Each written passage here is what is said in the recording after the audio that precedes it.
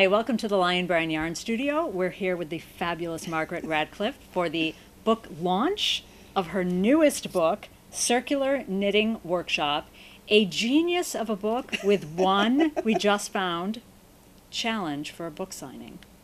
Oh, But fear not, we have silver pens, so it's all going to be okay.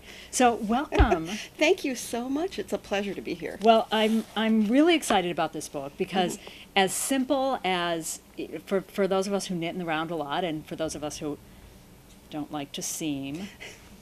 Yeah, okay, I'll admit Imagine it. that. I'm a finishing complainer. Um, you know, something that seems on the surface such a simple subject. Actually, when I really started to delve into it, I realized, yeah, there really is a lot there. There's enough for this wonderful book. So, what was the original impetus for this idea? Oh my goodness. well, you know, on each of my books, I've thought, I don't really have anything to say. And then I end up with twice as much as will fit inside the book. And I have to say, I don't remember what the original impetus was for this book.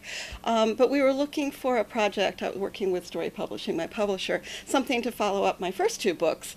And I realized that what I had been unable to include in um, the Essential Guide to, Color Knitting Techniques was a lot of the circular techniques that underlied it. And so we so we discussed that, and it became apparent as I started thinking of all the things I could put in that there really was enough for a book. And There's in quite a fact, lot. I ended up cutting five chapters Oh. that I had planned to make because as I wrote it, I realized this is going to be way too long. So there might be another book.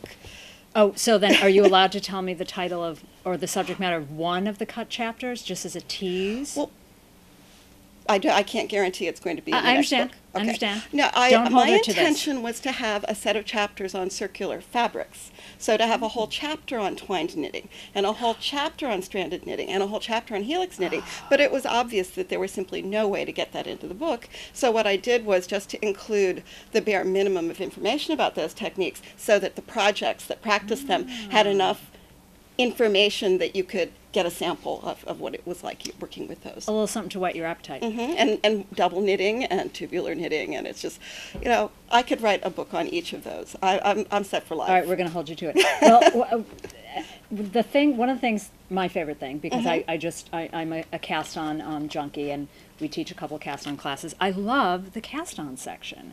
I mean, you. people sometimes just whiz through that step without a lot of thought. They find one cast on, they think, oh, this is my cast on.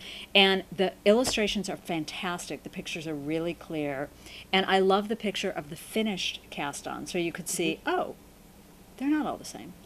Well, you know, we have a, a treat tonight, if I'm allowed to talk about tonight. Yeah, we are. we are. talk about tonight. Well, I discovered that Meredith Baber, who knitted the first the first section of the first chapter of the book is now going to Columbia University, Oh. and she's going to be here tonight. And I'd like to introduce her to everybody. But she was the one who knit a bunch of those finished cast-on swatches. I just I thought that was a brilliant idea because it does it's so incredibly picture rich. So many wonderful illustrations. I mean, it really mm-hmm. is.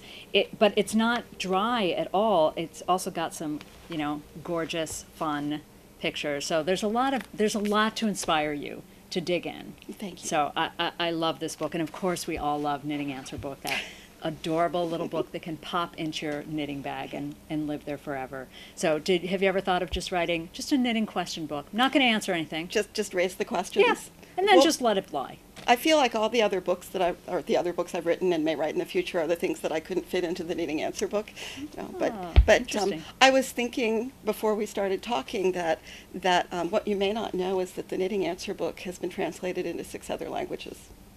I did not know. You didn't that. know that? I did not know that.